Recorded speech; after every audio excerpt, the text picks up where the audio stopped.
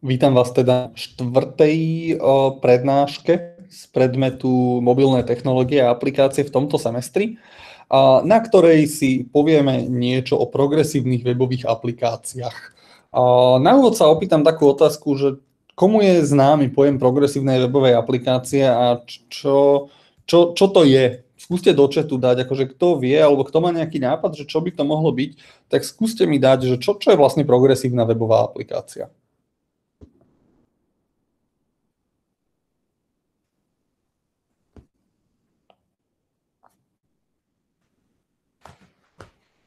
Alebo sa na úvod opýtam, že kto už sa s tým pojmom vôbec stretol, že ho aspoň počul.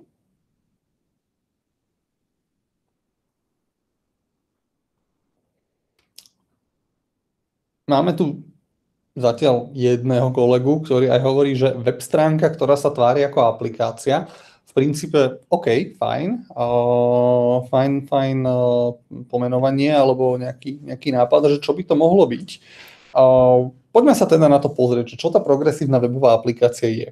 Na úvod treba povedať, že je to pojem, ktorý sa používa zhruba od nejakého roku 2015, to znamená zhruba od tej doby, odkedy sa aj bavíme o nejakých hybridných mobilných aplikáciách a o tom, že, že chceme tie mobilné aplikácie nejak písať hybridne s použitím nejakých webových prvkov pre obidve platformy a tak ďalej neexistuje oficiálna definícia Progressive Web Application. Neexistuje niečo, že toto je dogmatická definícia, že takto to je a inak to nie je. Ale na to, aby progresívna webová aplikácia bola progresívnou webovou aplikáciou, tak väčšinou musí splňať nejaké generické kritéria. A v tom názve Progressive Web Application vystupuje dosť silno to slovo, že application, že ako keby aplikácia. V skutočnosti ale tá progresívna webová aplikácia uh, nemusí byť a spravidla ani nie je mobilnou aplikáciou, tak ako ju chápete vy.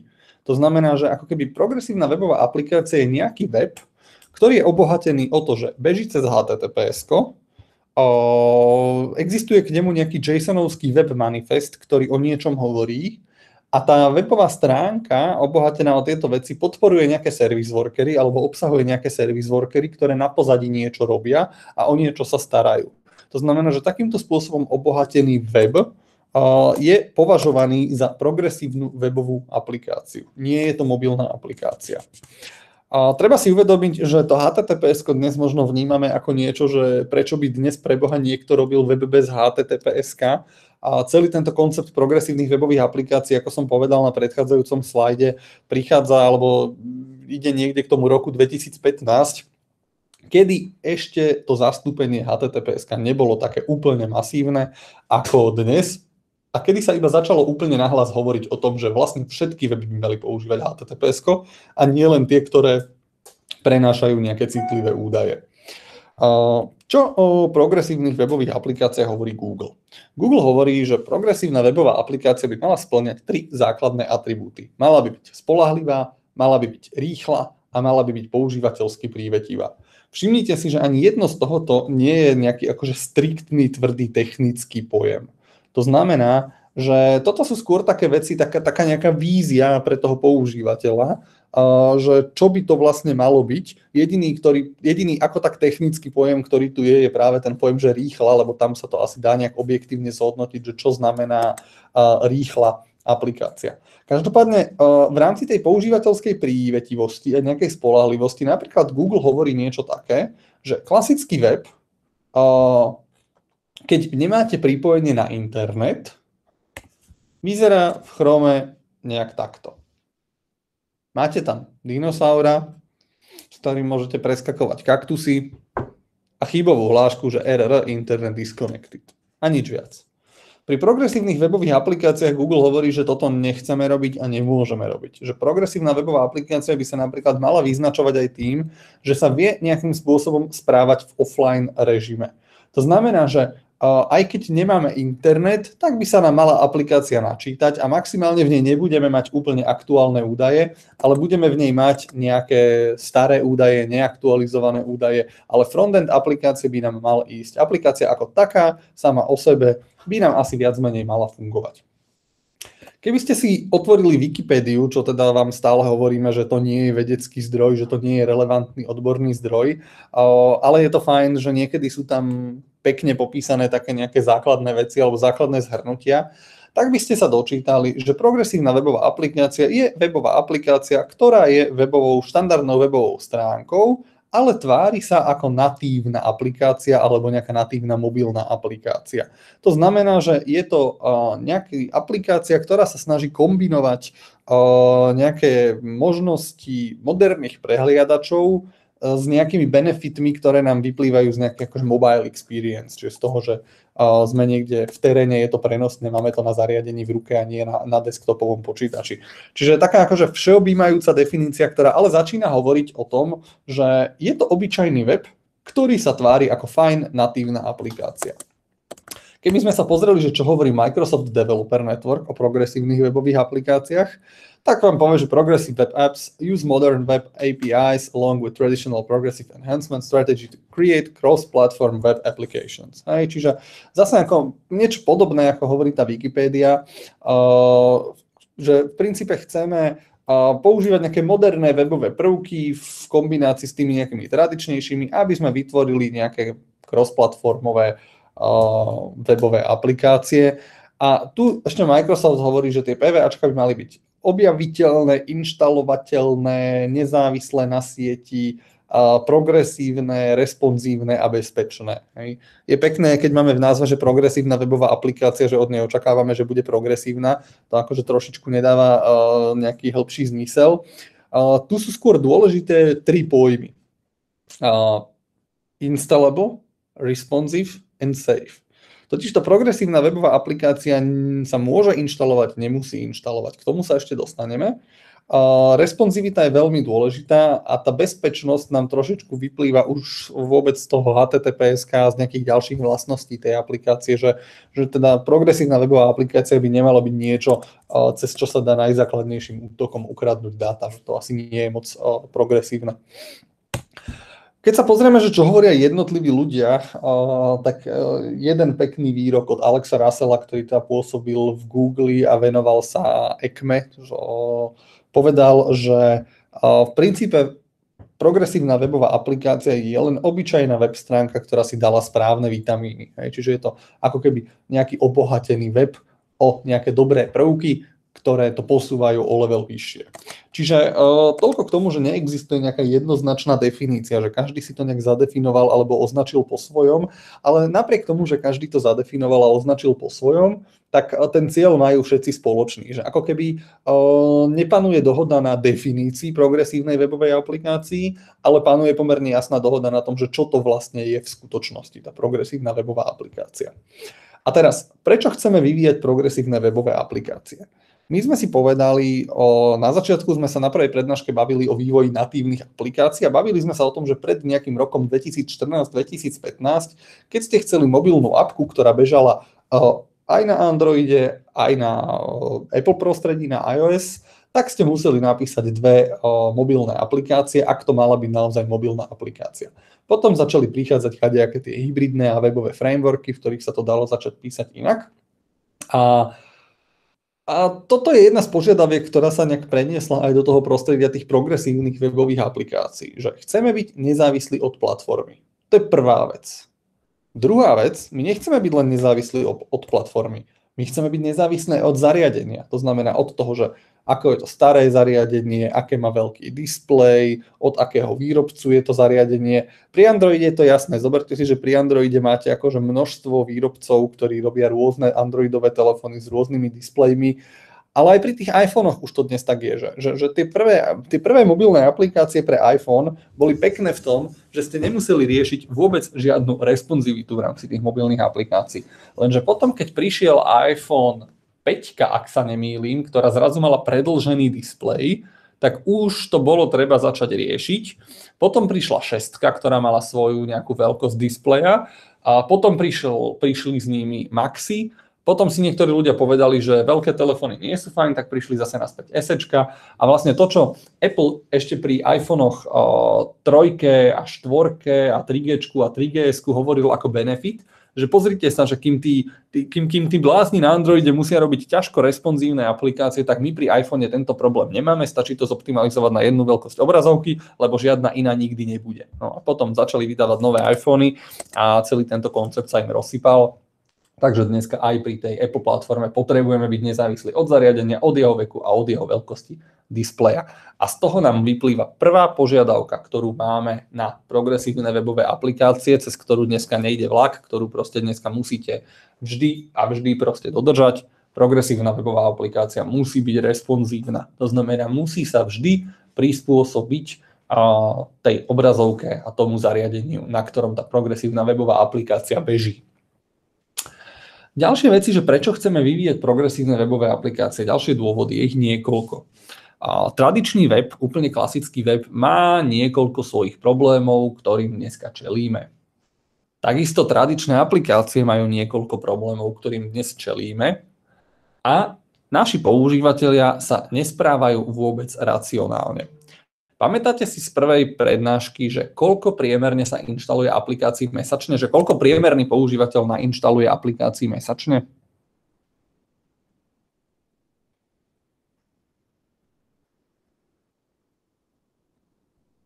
Kto si pamätá to číslo? Nula, presne tak. Priemerný používateľ inštaluje nula aplikácií mesačne. Ale to, čo je zaujímavé, je, že ešte v roku 2015 pri používaní mobilných telefónov 87% ľudí na všetko chcelo používať mobilné aplikácie a nie webový prehliadač. To znamená, že nechcem to inštalovať, ale chcem to používať. Chcem používať natívnu aplikáciu.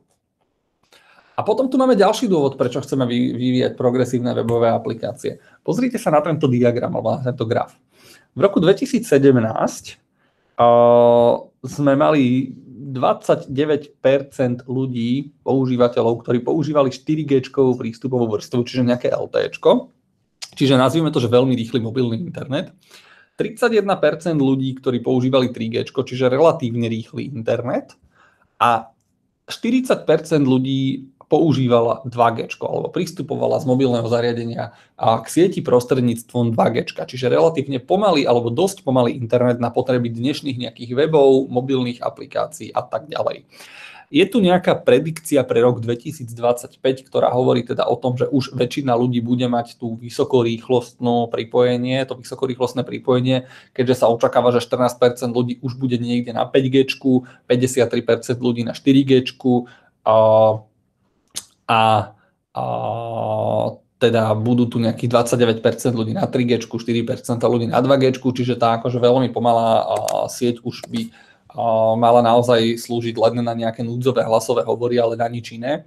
A čiže toto sa možno trošičku zlepšuje, ale stav je taký, že zatiaľ ešte nie všetci majú proste neustále v mobile vysokorýchlostný internet. A poďme si urobiť taký ešte jeden prieskum, túto náš interný v roku 2021. Kto z vás, keďže teraz ste z domu, býva niekde, kde nemáte LTE. To znamená, že bývate na časti územia, kde nemáte LTE pokrytie mobilnej siete. Hlavne takí kolegovia, ktorí sú z nejakých pekných dediniek na horách.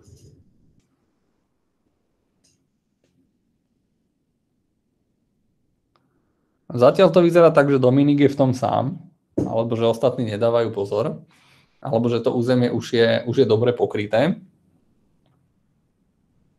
Toto je fajn, toto je pozitívne, že vidíte, že kam sme sa posunuli od toho roku, od toho roku 2017, ale nebolo to vždy tak. To znamená, že je veľmi fajn, že dneska už to, LT, že, to územie už je tým LTE pokryté veľmi fajn. Konec koncov začínajú sa už aj u nás stavať nejaké prvé alebo testovať nejaké prvé experimentálne 5G siete, čiže aj toho 5G sa minimálne v našich mestách dočkáme relatívne čoskoro. Toto sa mení k lepšiemu. Ale v roku 2017, keď ešte teda PVAčka boli niečo veľmi nové a veľmi akože progresívne a nasadzované, a, tak sa vychádzalo z premisy, že nie všetci majú prístup k rýchlemu mobilnému internetu. To znamená, že tradičný web, kde vždy ťaháme kompletne celý user interface, aj všetky dáta, ktoré tam zobrazujeme, je príliš pomaly. Všimnite si, že je to, že 2017, je to, že 3,5 roka dozadu sme mali tento problém a dnes ho zjavne už až tak veľmi nemáme. To znamená, že veľmi, veľmi rýchlo sa to vyvíja a vyvíja sa to smerom k lepšiemu.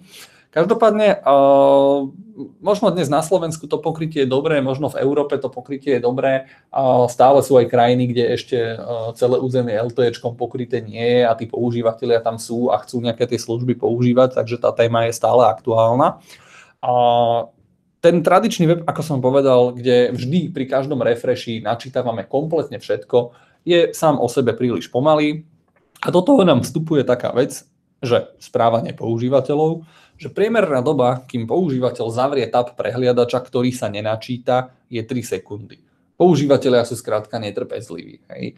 A, obzvlášť akože čím ideme k mladším ročníkom, tak tým sú netrpezlivejší, lebo my niektorí, a to tiež sa ja ešte stále považujem za relatívne mladší ročník, ale my si ešte niektorí pamätáme také veci, že možno niekde pípal nejaký dialapový modem a keď sme si chceli stiahnuť nejakých pár MP3 z torrentov, tak sme ich dali stiahovať večer, aby sme ich ráno mali stiahnuté. Čiže um, určitú mieru trpezlivosti uh, s pomalými internetmi zažitú máme. Ale dnes proste používateľ nechce sa pozerať 15 alebo 20 alebo 30 sekúnd vo svojom mobilnom prehliadači na to, ako sa krúti kolečko a načítava sa mu nejaká webová stránka. A tu narážame na to, že ak ja si chcem, ja neviem, kúpiť nové tenisky a nájdem uh, na Google nejaký link na nejaký e-shop alebo nájdem proste niekde nejaký zaujímavý tovar a chcem si to otvoriť a začne sa to načítavať a krúti sa to a krúti sa to a krúti sa to 10 sekúnd, ako na to zareagujem? Čo urobím? Čo bude výsledok?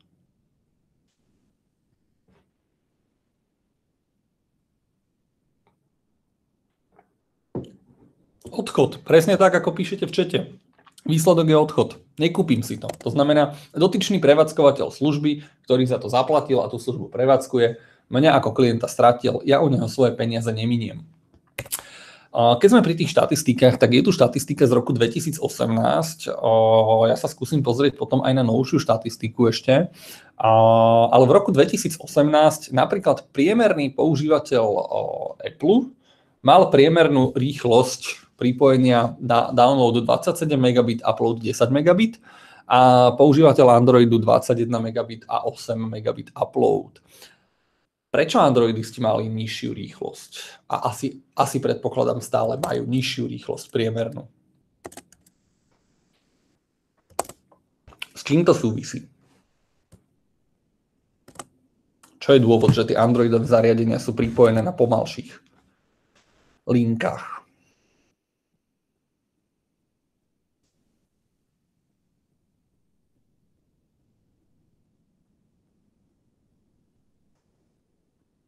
Čakám nejaké nápady, nejaké typy.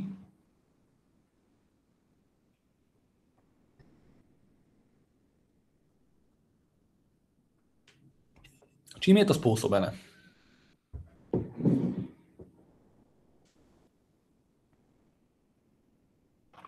Lubomír píše, že iOS používajú ľudia, čo žijú v lepšom pokrytí. Čiastočne má pravdu, alebo akože tá, tá nosná myšlienka je a správna. Samuel píše, že iPhone je prémiová značka, čiže viac ľudí v mestách ho má a idete na to správne. V princípe tento rozdiel je spôsobený tým, že iPhone alebo teda Apple zariadenia sa snažia radiť sami seba medzi drahšie. To znamená, že kupujú si ich v princípe bohatší ľudia alebo ľudia v bohatších krajinách a nie v úplne tých rozvojových krajinách. Čiže keď robíme tak, takýto nejaký priemer, tak naozaj akože tí používateľia Apple zariadení sú väčšinou ľudia, ktorí žijú v prostredí, ktoré je lepšie pokryté, pretože v kadejakých chudobnejších prostrediach sa skôr vyskytnú nejaké tie najlacnejšie a najzákladnejšie Androidové zariadenia a sú tam. Hej. To znamená, že túto štatistiku nechápte tak, že je to technický neprospech Androidu, je to skôr nejaká demografická alebo nejaká možno sociologická záležitosť že proste chudobnejší ľudia v nerozvinutejších častiach sveta, ktoré majú slabšie pokrytie, si častokrát tieto Apple zariadenia nemôžu dovoliť a preto tá štatistika potom, ak sa robí globálne, tak vyznieva v prospech toho iOSu. A keby vás zaujímali štatistiky v roku 2018 na 5 krajín s priemerne najrýchlejším prístupom k mobilnému internetu, tak v rámci Európy to bolo Norsko, Island a Holandsko a v rámci zvyšku sveta to bol Katar a Singapur, takže tam priemerný používateľ mal najrýchlejší internet. A, no dobre, a ako tieto problémy riešia progresívne webové aplikácie? Čo si myslíte?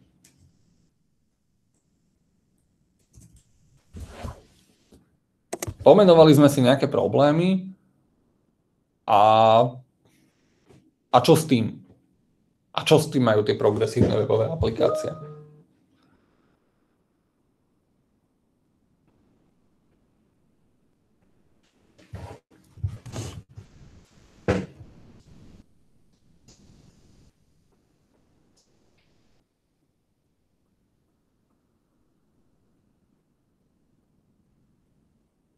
Jakub píše, že keď sa raz stiahnu, nepotrebujú ťahať toľko dát. Prečo?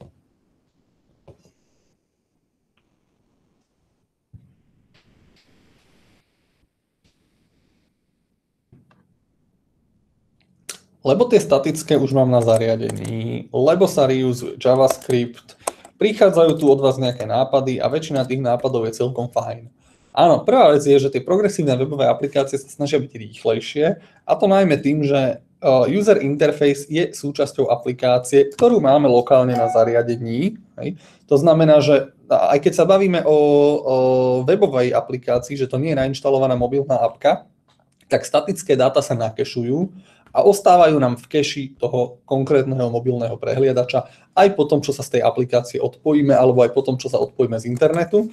A keď si túto e, aplikáciu ideme načítať druhýkrát, vieme tie dáta vyťahnuť z keše. Snažia sa správať natívne, to znamená, že to, ten user interface, to prostredie používateľské sa snaží byť interaktívne, rýchle. Všimli ste si určite, že momentálne už weby podporujú napríklad aj push notifikácie, čo kedysi bola výsada len mobilných aplikácií, že keď ste chceli push notifikácie, museli ste mať mobilnú apku. Dneska už viete push notifikácie zaregistrovať aj cez webový prehliadač odkedy toto prišlo, tak tie stránky sú s tým extrémne otravné na môj vkus, ale tak je to tak. A progresívne webové aplikácie by mali ošetrovať offline stavy. To znamená, že v prípade, že zariadenie stratí pripojenie, tak tá aplikácia by mala vedieť vhodne zareagovať na to, že sme stratili pripojenie. A na to slúžia práve spomínané service workery, ktoré sme si povedali, že v tých mobilných aplikáciách alebo v tých webových aplikáciách progresívnych musia byť. Keby sme si chceli nejak zvizualizovať predstavu nejakej hierarchie alebo štruktúry toho, že čo to vlastne je progresívna webová aplikácia, tak si všimnite, že je to ako keby web, ktorý má responsívny dizajn, má prístup k nejakým médiám telefónu, to znamená ku kamere, k mikrofónu, k fotkám a tak ďalej. Používa možno nejaké geolocation API, aby sme teda vedeli polohu používateľa a má nejaký application manifest, ktorý umožňuje pridanie danej apky, volajme to apka, aj keď to nie je mobilná aplikácia, na home screen, podporuje nejaký caching, podporuje nejaké push notifikácie, podporuje nejakú synchronizáciu nejakých dát na pozadí a sú tam nejaké service workery. Hej? Čiže toto sú tie vitamíny, ktoré, ktoré pomenoval Alex Russell eh, v tom svojom výroku, že je to web, ktorý zobral správne vitamíny, tak ako keby toto sú tie jednotlivé vitamíny, ktoré si ten web dal na to, aby sa z neho stala progresívna webová aplikácia. Čiže vidíte, že snažíme sa webu web obohatiť o všetky funkcionality, ktoré boli typické pre natívne mobilné aplikácie. Progresívna webová aplikácia sme si povedali, že nemusí byť nainštalovaná, ale môže môže byť nainštalovaná takým spôsobom, že vy nainštalujete aplikáciu, ktorá je v skutočnosti len wrapper nejakého webového prehliadača alebo nejaké, nejakého webového okna, v ktorom natiahnete jednu URL a používate, uh, používate a tú aplikáciu, ako keby to bola natívna aplikácia. Niektorí používateľia alebo niektoré značky alebo služby sa snažia presvedčiť ľudí, že máme aj apku, ktorú si môžete nainštalovať, ale ak majú v skutočnosti urobený veľmi dobrý responsívny web, ktorý splňa kritéria Progressive Web Application,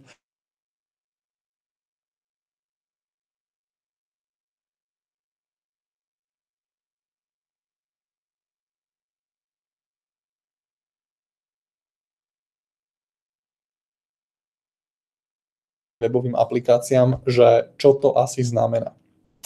Poďme si rozobrať tie jednotlivé, jednotlivé uh, detaily alebo jednotlivé časti, uh, jednotlivé stavebné kamene tej progresívnej webovej aplikácie. Myslím si, že vysvetľovať vám, že čo je web, asi nemá zmysel, je rok 2021, takže vysvetľovať si web nebudeme. A Uh, také dve najzákladnejšie veci, ktoré naozaj len si treba povedať, ale nebudeme sa v nich nijak vrtať, je, že teda musíme mať responsívny design, čo dneska viete vyriešiť buď cez Flexboxy alebo cez Bootstrap, sú proste na to UI kity, ktoré viete proste chytiť a použiť. Dnes, dnes naozaj, keď vyvíjame web, tak responsívny design dnes nie je niečo, čo je akože bonusová funkcionalita. Ja si, ja si pamätám, ja si pamätám ešte roky 2010, 11, 12, keď sme, keď sme vyvíjali nejaké webové stránky, tak akože v roku 2012,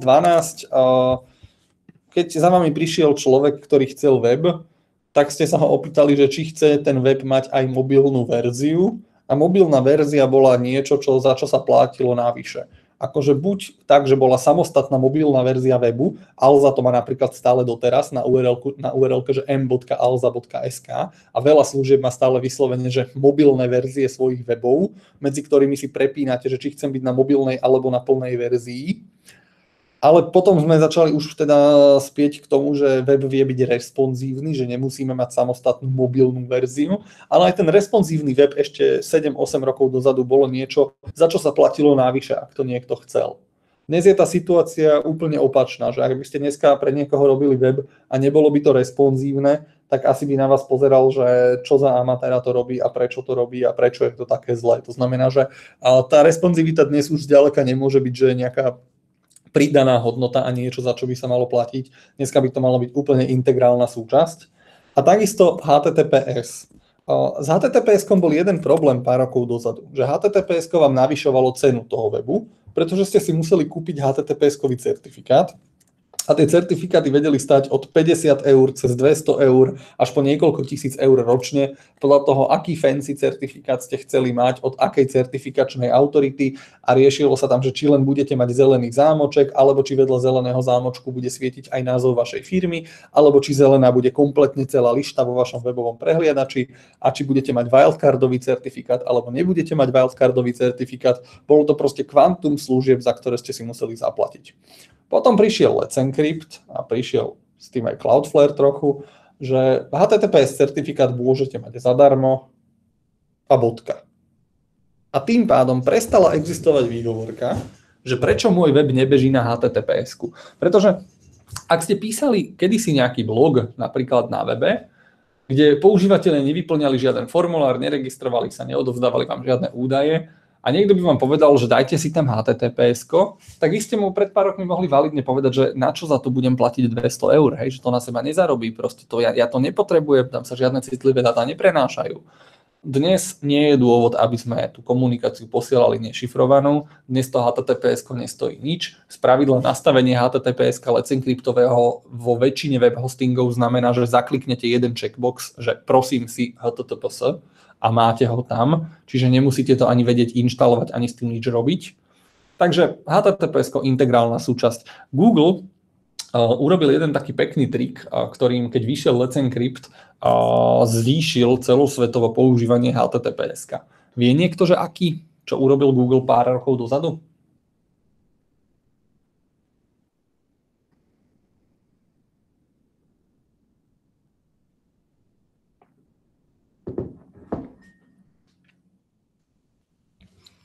Pár rokov dozadu Google povedal, že stránky, ktoré nebudú mať HTTPS, budú považované za nebezpečné a vyhodíme ich z výsledkov vyhľadávania. Čo sa vtedy stalo? Vystrelilo percento stránok, ktoré zrazu mali HTTPS. Zrazu sa všetci marketéri a všetci prevádzkovateľia zlakli a potrebovali HTTPS, aby ich Google nevyhodil z výsledkov vyhľadávania, čím Google dosť výrazne prispel k tomu, že táto HTTPS používa. Čiže podporovať HTTPS integrálna súčasť. Asi sa o tom tiež nemusíme dnes baviť, že prečo to HTTPS chceme. Ďalšou vecou, ktorú tam máme v tom slajde, je používať web app manifest, JSONovský manifest A ten manifest primárne slúži na účely pridania danej stránky na home screen, tak aby sa tvárila, že to je vlastne aplikácia, aj keď v skutočnosti je to iba záložka na webový prehliadač. A keď sa pozriete do toho manifestu, ja som vám ho tuto na tomto slajde zväčšil, tak máte tu uvedený nejaký name, nejaký short name, nejakú tému, farbu témy, to znamená, že ako sa má prefarbiť UIčko toho samotného webového prehliadača, aby to mečovalo s vašou aplikáciou. Možno ste si to všimli hlavne androidisti, že pri niektorých webových stránkach sa vám webový prehliadač prefarbí celý do, do farieb tej stránky. To sa väčšinou vyťahuje práve z tohoto akože aplikačného manifestu. Viete dokonca zablokovať tú stránku, že či to má byť len portrait alebo len landscape, viete povedať, že na ktorej URL sa má začínať, keď idete z home screenu a viete tu dať cesty k nejakým ikonkám v jednotlivých rozmeroch, aby keď si tú stránku uložíte ako záložku na, na, strán, na vašom home screene, tak aby nemuselo vaše mobilné zariadenie hádať, že akú ikonku tam dá, ale dá tam tú ikonku, ktorú ste si vy ako vývojári povedali, že toto je ikonka mojej aplikácie. Čiže toto primárne rieši ten web app manifest, ktorý, ktorý tam máte. No a potom prejdeme k tým service workerom. Čo je service worker? Tu je definícia. Ja osobne nemám rád slajdy, na ktorých je veľmi veľký blok textu, pretože si myslím, že na to slajdy neslúžia. A, takže v tejto definícii si len zvýrazníme nejaké základné pojmy. Nebudeme si tú definíciu ani celú čítať, ale vypichneme si z nej nejaké základné pojmy. A service worker je, že event-driven worker. To znamená, že niečo, čo sa spúšťa vtedy, keď nastane nejaká udalosť.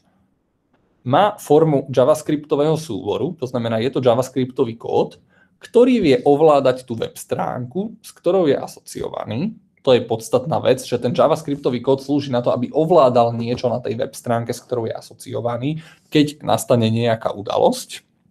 S tým, že dokáže vstupovať a zasahovať a modifikovať do nejakých navigačných a resource requestov a caching requestov.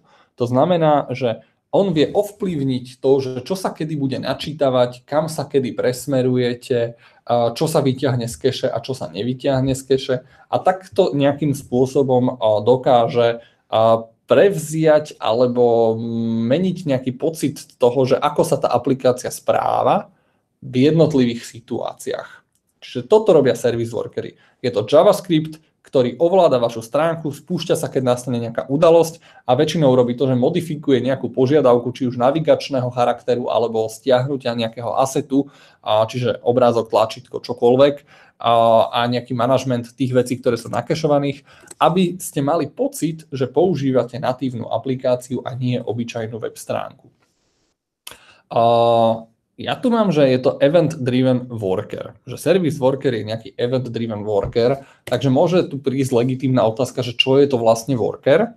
A worker je definovaný, že to reprezentuje nejakú úlohu na pozadí, ktorá môže byť jednoducho vykonaná a jej výsledky z nej alebo nejaké pokyny z nej môžu byť potom odoslané prostredníctvom nejakých správ naspäť tomu creatorovi, čiže tej samotnej webovej aplikácii, ktorú používate. To znamená, že takýto worker beží v samostatnom trede ako javascriptový kód na webe, ktorý neblokuje, je plne asynchronný, neblokuje to UIčko a, a tým pádom si on na pozadí proste robí nejaké úlohy, a, ktorými potom hovorí tej aplikácii, že ako má eventuálne zmodifikovať svoje správanie. Service worker si potrebujete zaregistrovať, ale tá registrácia service workera je vo väčšine prehliadačov, ktoré service workery podporujú veľmi jednoduchá a vidíte, že je to v princípe jeden riadok kódu, ktorým zaregistrujete service worker a toto všetko je len ošetrenie, že či sa to podarilo alebo nepodarilo a nejaké konzolové logy k tomu. A a ten service worker potom uh, môže robiť to, že má nejaký zoznam url ktoré má nakešované, to znamená, že CSS, JavaScripty a tak ďalej. A v prípade, že nastane nejaký event, že niekto si chce načítať uh, nejakú konkrétnu, uh, konkrétnu vec, ktorá by mala byť nakešovaná, tak, ten, tak v momente, kedy sa zavolá nejaký fetch, tak ten service worker ako keby rieši, že či to má nakešované a či vám vráti to, čo má nakešované alebo či uh, teda naozaj bude fetchovať z nejakého webového servera a ten JavaScript, alebo to CSS, alebo ten obrázok. To znamená, že je to ako keby nejaký kód, ktorý počúva a vníma, že čo vy si všetko chcete načítať, rieši, že čo z toho má mať nakešované a čo z toho má nakešované. A v prípade, že si vy vypýtate niečo, čo ten service worker vyhodnotí, že však ale toto mám nakešované, tak on zabráni tomu, aby ste vy urobili tú reálnu HTTP požiadavku na webový server, ale naopak on tú vašu požiadavku obslúži z tej keše, ktorú má a on si zodpoveda za to, že či to môže vytiahnuť z tej keše, alebo či to má napríklad naozaj aktualizovať v keši a stiahnuť z webového servera. Čiže takýmto spôsobom napríklad ten service worker funguje a rieši veci týkajúce sa keše. Čo je dôležité, aby sme vedeli o service workeroch? Service workery fungujú iba na HTTPS. To znamená, service worker nemôže komunikovať po čistom HTTP. Tu sa vraciame k tomu, že ak web máte na HTTP a nie na HTTPS, nemôžete byť progresívna webová aplikácia, pretože vám nebudú fungovať service workery. Ďalšia vec, ktorú service workery potrebujú, je podpora prehliadača, na ktorom to beží. Dnes to zvláda aj Microsoft Edge, a zvláda to aj Safari. To znamená, že zvládajú to aj tie úplne najzákladnejšie webové prehliadače, ktoré a, sú inštalované priamo od výrobcov a, vo vašich zariadeniach. A mimo cache, ak zmeníte kód service workera, prehliadač si to skontroluje. To znamená, a samotný kód service workera nikdy nekešujete. Hej, service worker vie kešovať iné asety, ale samotný kód service workera nikdy nie je nakešovaný. To znamená, že ak vývojár zmení kód service workera, prehľadač si to skontroluje a bude používať nový kód service workera. Takisto service workery nefungujú v private a incognito režime z dôvodu obmedzení, ktoré zo sebou ten private a incognito režim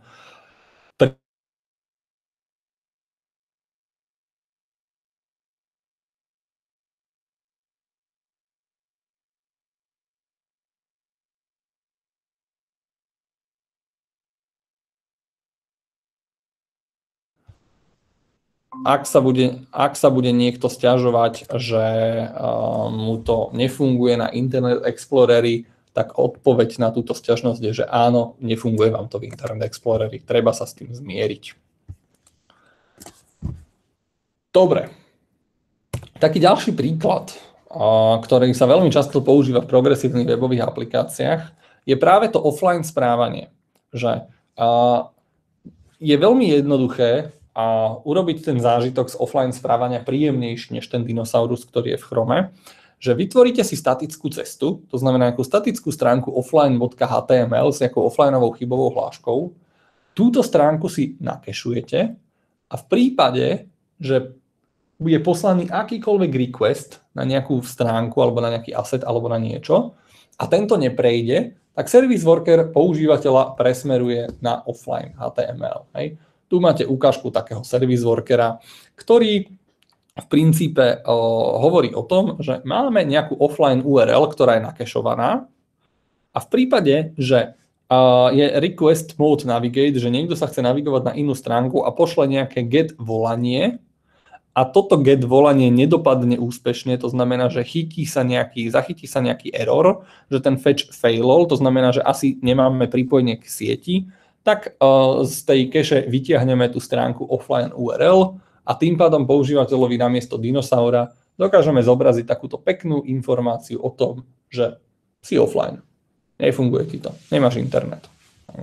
Tým pádom používateľ má pocit, že mu nespadla aplikácia, že neopustil tú webovú stránku, že stále je v tej aplikácii a mal by tam mať teda nejakú možnosť nejakého rekonektu alebo nejaký nápad, že, že, že, že čo s tým asi ďalej. Takisto, keď sme si povedali, že dnešné weby podporujú push notifikácie, tak aj tie push notifikácie sú riešené cez service workery a potrebujete na to podporu prehliadača a ten service worker ako nejaký asynchronný kód na pozadí sa zobudí práve na čas potrebný na zobrazenie tej notifikácie. Tu je dôležité, že tie notifikácie vy ako používateľia musíte povoliť. Preto si tie webové stránky od vás pýtajú povolenie, že či si prajete, aby vám táto webová stránka mohla posielať notifikácie a v prípade, že tie notifikácie máte povolené, tak akože zobraziť už nejakú push notifikáciu používateľovi je opäť na pár riadkov javascriptového kódu. A dôležité je, že väčšina prehliadačov si dáva pozor na to, aby ste v tej push notifikácii vždy videli zdroj. To znamená, že, že vždy je jasné, že z ktorého webu, z ktorej progresívnej webovej aplikácie a tá, tá notifikácia prišla. Toľko k service workerom. Je to jasné, alebo je tu niečo, čo je nejasné a k čomu sú nejaké otázky?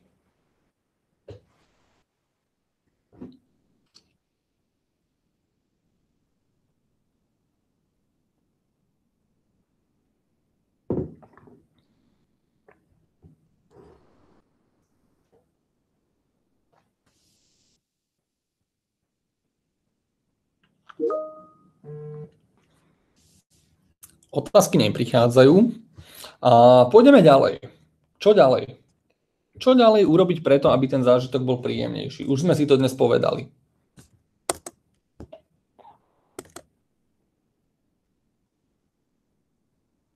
Kto si spomenie? Príklad s teniskami. Čo potrebujeme dosiahnuť pri tých progresívnych webových aplikáciách?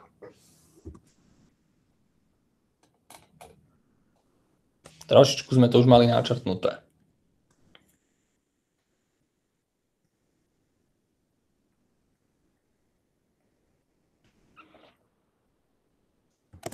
No úplne bez debaty potrebujeme zrýchliť načítavanie.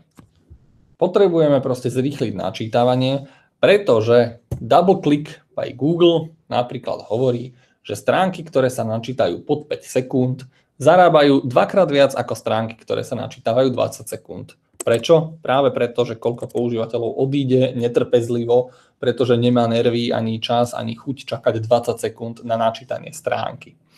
Uh, napríklad portál Auto Anything, keď zrýchlil načítavanie svojho webu o polovicu, tak im predaje stúpli o 12%. To znamená, že a výkonnosť vášho e-shopu veľmi silno neovplyvňujú len vaši marketéri a obchodníci a všetci ľudia, ktorí vám robia reklamu na internete a influenceri a instastorky a neviem čo všetko. Ovplyvňujú to aj priamo vaši programátori, alebo naopak vy ako programátori budete mať veľmi silný impact v tom, že či tá služba bude používaná, obľúbená, bude zarábať alebo nebude zarábať. Čiže inými slovami, že či si vy na tie svoje pracovné miesta zarobíte alebo nezarobíte. Ako chceme zrýchliť načítavanie webu? Skúsme dať nejaký spoločný brainstorming v čete. Akými možnosťami vieme zrýchliť načítavanie webu?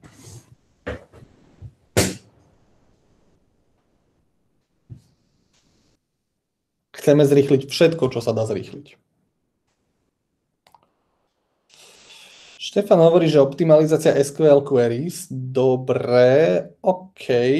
Fajn. Poďme bližšie k tomu frontendu webovému, lebo tie SQL query sú už taká nejaká backendová záležitosť. Ale akože good point. Čo ešte?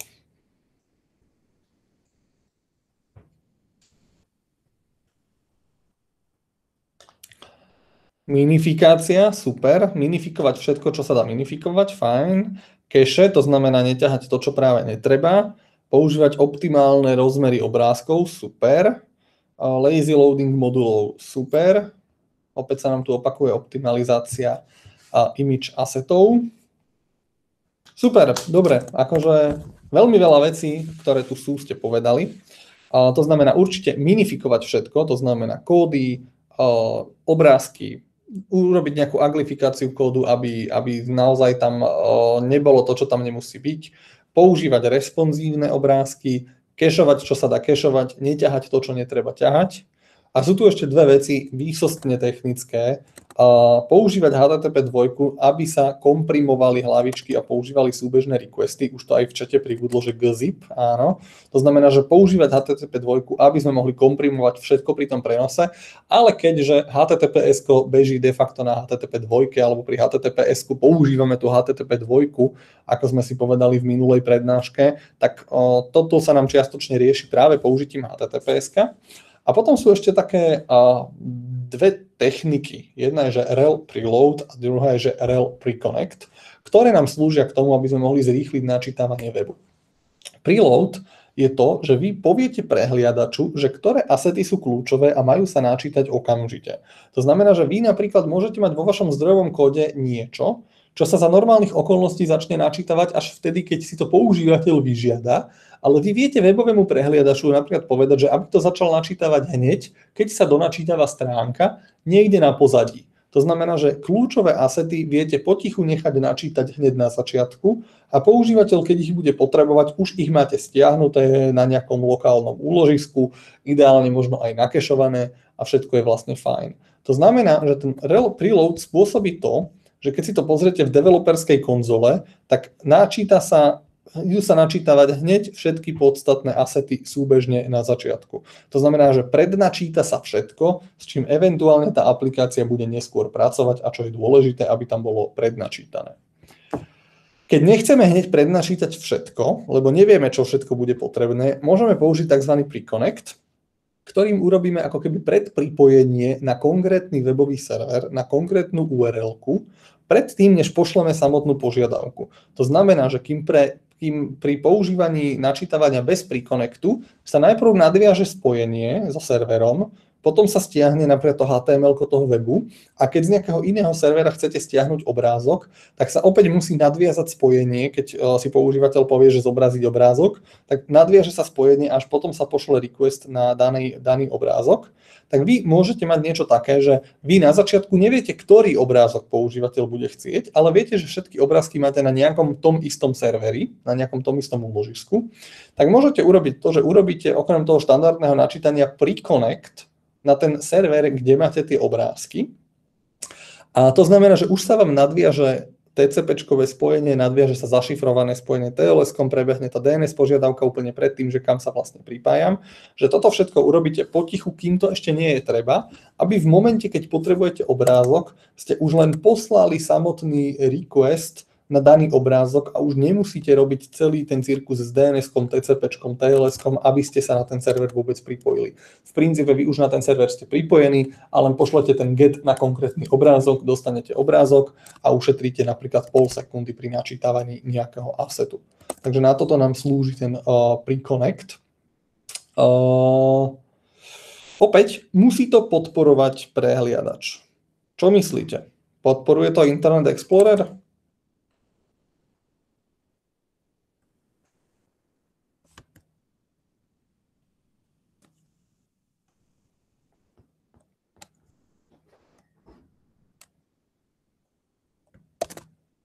Nie. A v tomto prípade ani Opera Mini a Microsoft Edge to podporuje tiež len čiastočne. Že trošku to funguje, trošku to nefunguje. Takže s tým preconnectom. Možno, že už to v posledných verziách e, za posledné dva roky, tie slajdy majú zhruba dva roky, tak možno, že za posledné dva roky to už, už fixli. Úprimne neskúšal som. Dobre.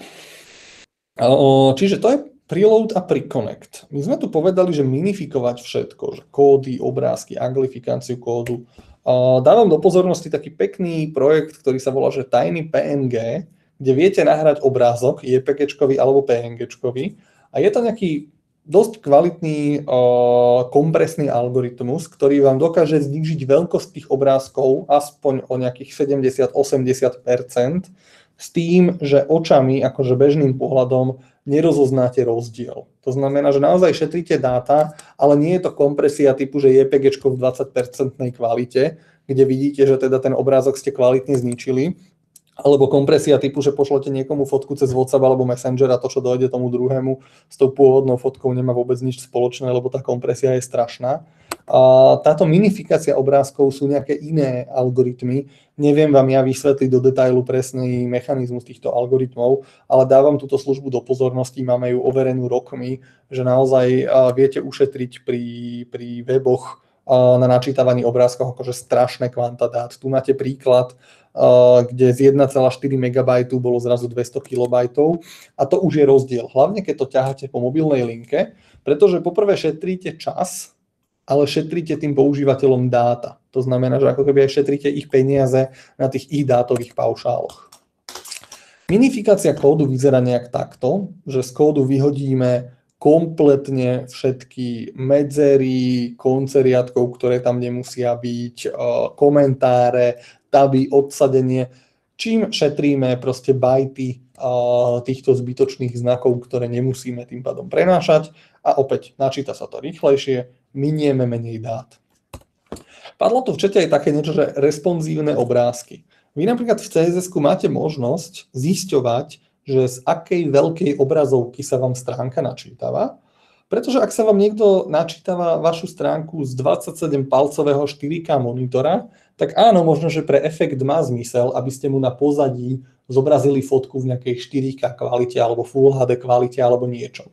Ale v prípade, že si niekto tú vašu stránku načítava z nejakého SEčkového iPhoneu, ktorý má úplne maličký displej alebo z nejakého maličkého androidového zariadenia s maličkým displejom, tak naozaj mu nemusíte asi ťahať 4K fotku alebo Full HD fotku na pozadie. Viete mu zobraziť o mnoho menšiu fotku toho istého na pozadí a tým pádom prenášať o mnoho menej dát a načítať to o mnoho rýchlejšie.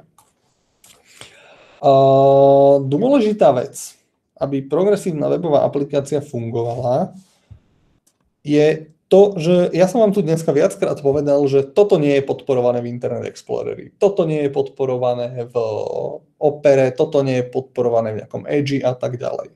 V roku 2018 podiel používaných prehliadačov vyzeral nejak takto. 62% ľudí používalo Chrome, 13% Safari, IE a Edge nejakých 7%, 6% Firefox, 3% Opera. Myslím si, že momentálne už tá štatistika je trošičku iná. Minimálne Firefox urobil kus roboty preto, aby sa stal kvázi najrychlejším a najspolahlivejším prehliadačom. Takže táto štatistika už úplne presne nemusí platiť. Dôležité je vedieť, že toto sú nejaké prehliadače, ktoré používa naozaj akože väčšina ľudí alebo veľká časť ľudí a musíte na to myslieť, pri uh, tvorbe vašej progresívnej webovej aplikácie, pretože v prípade, že vám v troch uh, prehliadačoch fungovať nebude, tak vytočíte dosť veľkú časť vašich používateľov a, a nebude to dobré. Hej, ten produkt nebude dobrý. A aby tá progresívna webová aplikácia bola dobrá, musí byť podporovaná vo všetkých uh, masovo používaných webových prehliadačoch. Otázka je, že ako to otestovať. Najlepšie je to testovať vždy na konkrétnych zariadeniach, pretože akékoľvek simulátory, emulátory, developer toolsy sa snažia, sú fajn, pomôže to odhaliť nejaké hrubé chyby, ale aj tak na tých reálnych zariadeniach niekedy uh, sa potom niektoré veci správajú ešte trošičku inak a ešte trošičku nepredvídateľne. Ale keď to vyvíjate a chcete napríklad vedieť, že či niečo môžete niekde použiť, tak super nástroj na to je, že caniuse.com je webová stránka, ktorá vyzerá nejak takto, že vy sa opýtate, že či môžem použiť napríklad preload a ono vám to zobrazí pre jednotlivé webové prehliadače a jednotlivé verzie mieru podpory toho, na čo sa pýtate. To znamená, že viete si napríklad zistiť, že kde to bude fungovať. Tu vidíte, že v Opere Mini preload fungovať nebude, tak ako sme si povedali. Čiže tuto, tuto si môžete pozrieť, že ako to zhruba vyzerá. Takisto sa môžete pýtať napríklad na Flexy. Aj Flexy sú už dneska napríklad podporované skoro všade, čo je veľmi fajn. A keď akože budete tieto technológie používať s rozumom a budete teda zameriavať na tie technológie, ktoré sú podporované a bude vám to všade pekne fungovať, tak sa dostaneme k nejakému výsledku, ktorý môžeme nazvať progresívnou webovou aplikáciou. A čo je ten výsledok? Výsledok je to, že môžete prefarbiť napríklad pri Androide, ako sme si povedali, prehliadač do vašich farbičiek, ponúknete používateľovi, že si to môže pridať na home screen, na home screene bude mať taký názov a takú ikonku, akú ste si povedali vy. Kým sa tá stránka načíta, môžete mu ponúknuť nejaký splash screen, čiže nejakú načítavaciu obrazovku a dokonca to môže fungovať so service workermi aj offline v prípade, že máte nakešované statické dáta, ktoré sa nemenia. A tým pádom používateľ je stále vo webovom prehliadači, stále používa webovú stránku, nič nenainštaloval, ale dali ste mu dokonalú ilúziu toho, že používa natívnu nainštalovanú mobilnú aplikáciu a pritom vám stačilo dobre urobiť responsívny web. To je pointa progresívnych webových aplikácií. Je toto jasné?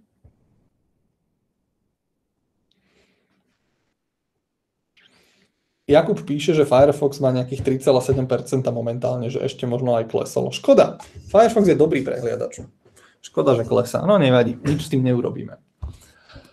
Dobre, je jasná tá pointa, že čo sa vlastne očakáva od progresívnej webovej aplikácie, alebo že prečo to robíme? Sú k tomu, sú k tomu nejaké otázočky?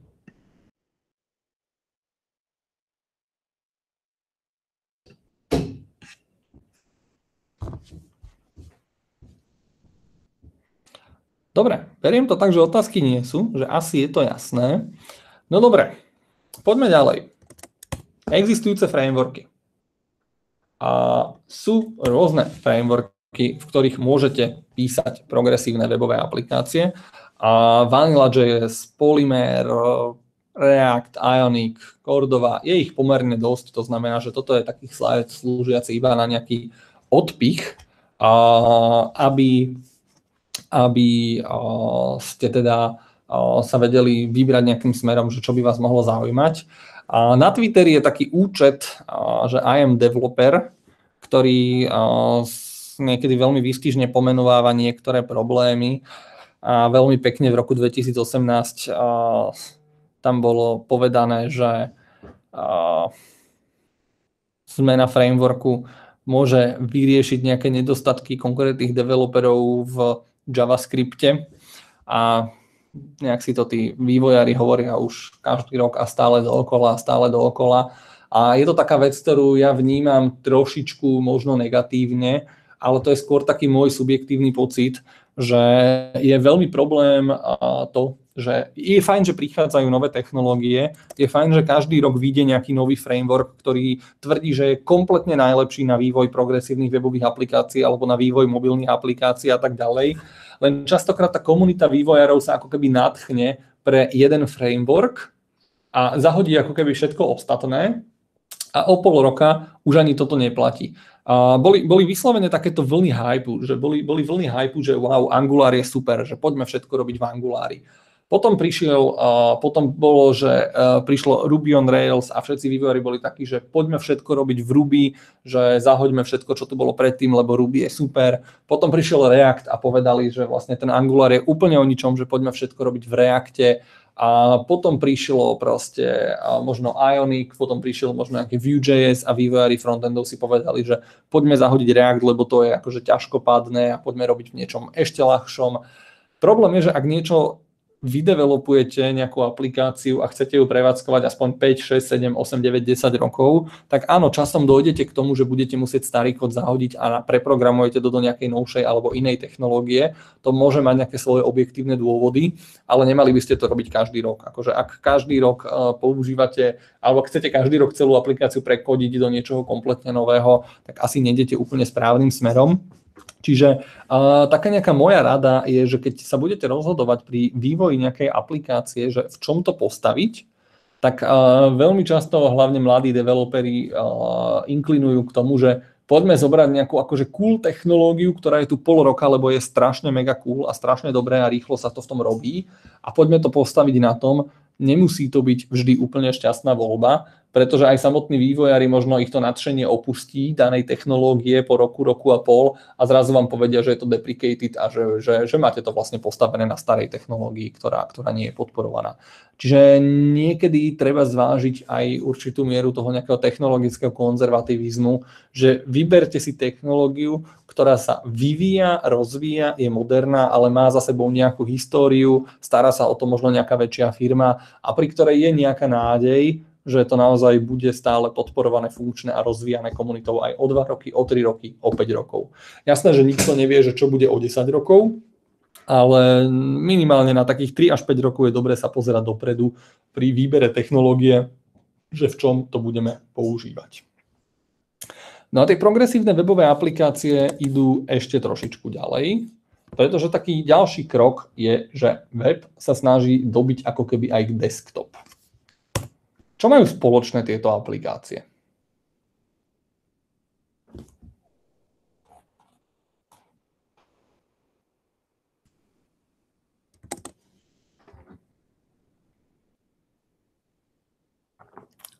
Samuel typuje, že bežia na elektrone. Čo je elektrón?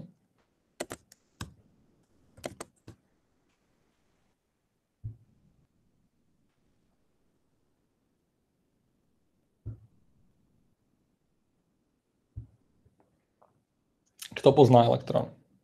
OK. Samuel píše, že Chromium. Samuelov typ je veľmi správny, bežia na elektrone. To znamená, že vy máte pocit, že napríklad keď používate Slack alebo Visualko, že tá Visual Studio Code, aby som teda bol, bol presný, a že bežíte v okne normálnej nainštalovanej aplikácie, však vy ste to stiahli ako nejaký exač, nainštalovali ste to a máte to nainštalované ako aplikáciu. Problém je, že vy iba spúšťate webovú aplikáciu, alebo nie je problém, ale akože realita toho elektrónu je to, že vy spúšťate webovú aplikáciu v nejakom natívnom okne operačného systému. Tá aplikácia sa tvári ako natívna, používateľovi viete dať ikonku na plochu. A ako na to v elektróne? Veľmi zjednodušene. Máte tam nejaký JSON, ktorý niečo hovorí o tej aplikácii, máte tam nejaké JavaScripty, ktoré niečo hovoria o tej aplikácii a máte tam nejaké HTML. A keby ste sa pozreli, že ako vyzerá ten JSON, veľmi zjednodušene, tak je tam názov aplikácie a nejaký údaj, že ktorý JavaScript je ten hlavný a ako sa tie skripty majú spustiť.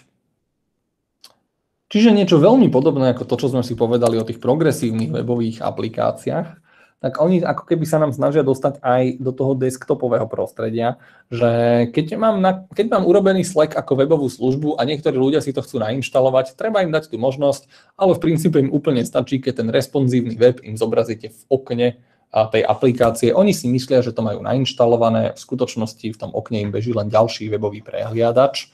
A pretože si všimnite, že vytvára sa to tak, že vytvoríte browser window defaultne nejakej konkrétnej veľkosti, do ktorej načítate nejaké HTML. Čiže človek to nechcel používať vo webovom prehliadači, tak si nainštaloval nové okno webového prehliadača, veľmi zjednodušene povedané, a používa to vo webovom prehliadači, kde mu beží obyčajné HTML. A ako na to?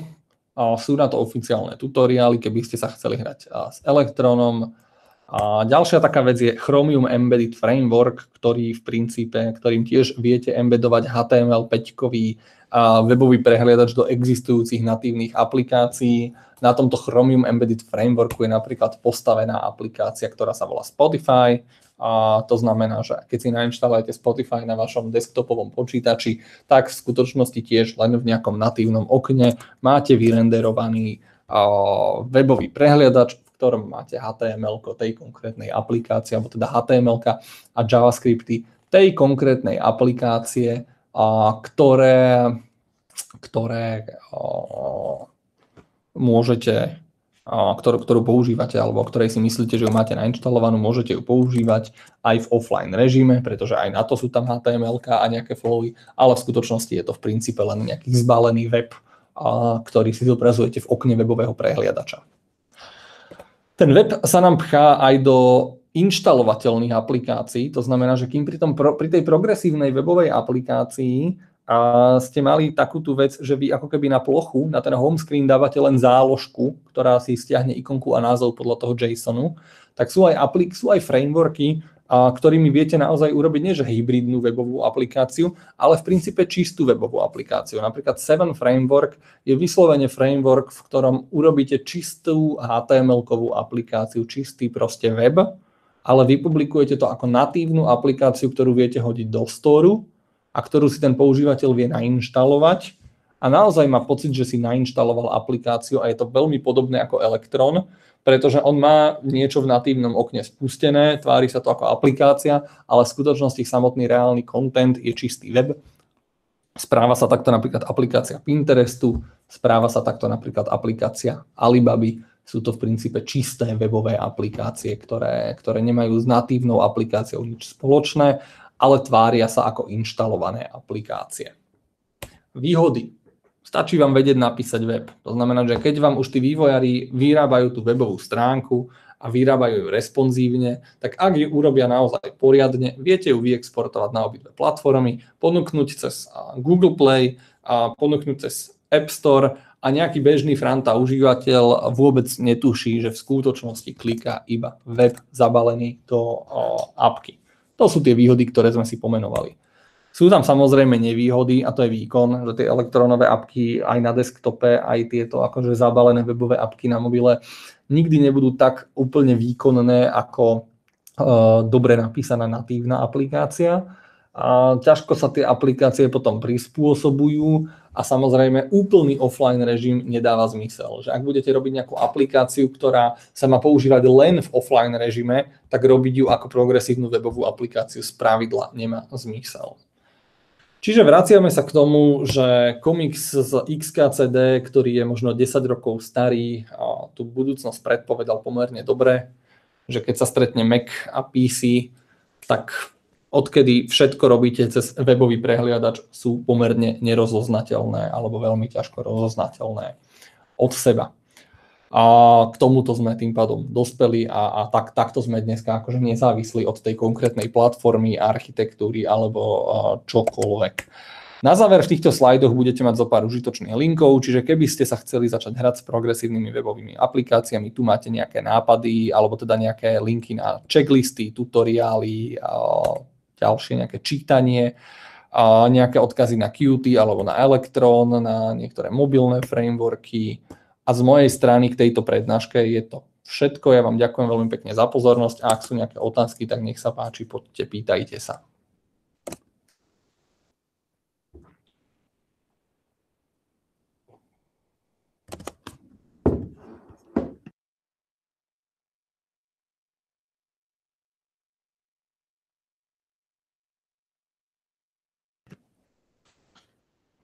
Žiadne otázky?